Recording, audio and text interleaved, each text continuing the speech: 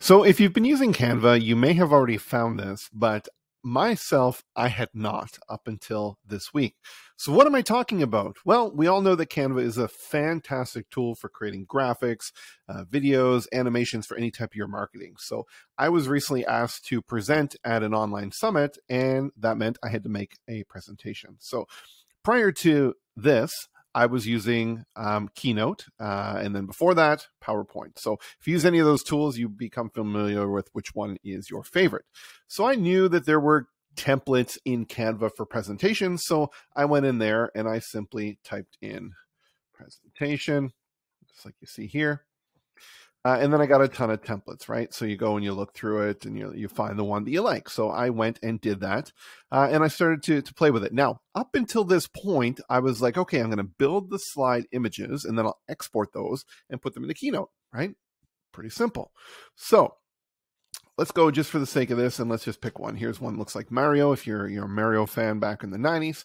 Um, and how it all works is you've got different templates. So there's 14 of them you can choose from for the different slides and you simply go add a page, pick that slide, and so forth, right? You go through and you can build your slides just like you would with anything in Canva. You can do the animations and everything like that.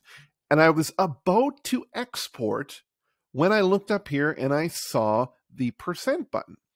And I was like, hmm, what's this? So I click on it and I get some options. So there's standard, autoplay, and then I saw presenter view. There's also presenter record, which I haven't tested yet, um, but presenter view. And when I click on this, now this would require two screens, which I have set up. I have screen on the right side, which you can't see in this recording. But what I ended up doing was I drag this block here over to the other screen, and then I hit this button that says enter full screen, and it puts that whole screen in full screen mode. That is the presenter view. Then when I'm on my Zoom presentation, I share that other monitor. Now here's the cool part. I'm going to do that. I'm going to throw this over here. Say enter full screen. And then the presenter view here, you have a full presenter view built right in Canva.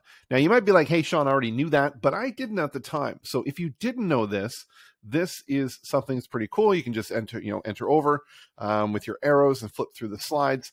Uh, you'll see this is what is on the pre- presentation screen here. This is what's upcoming. If you add any notes, they'll show up here.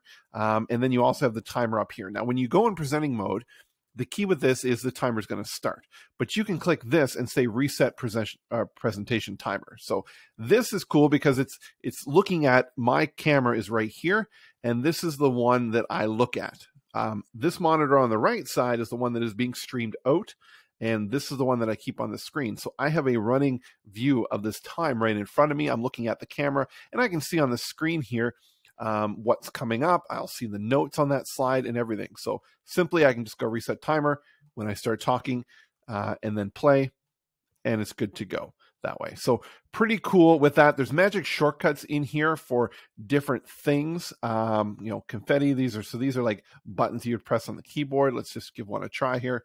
See, Oh, so you don't see it, but on the right side, it just streams confetti down on the presentation. So there's some cool stuff in here. Uh, mic drop, I don't know what that does. Oh, it just brings the microphone in the screen. Now, again, you can't see that. That is over on the other side. It doesn't show it on this side here. So uh, aside from that, um, I'm pretty impressed with this. Um, you can hide the magic cursor, and what that is is when you bring your mouse over on the screen, there's like a little blue dot, just like you're seeing here, um, and it actually just goes around. So if you got graphs and you want to show them what it is that you're talking about, that'll show up that way.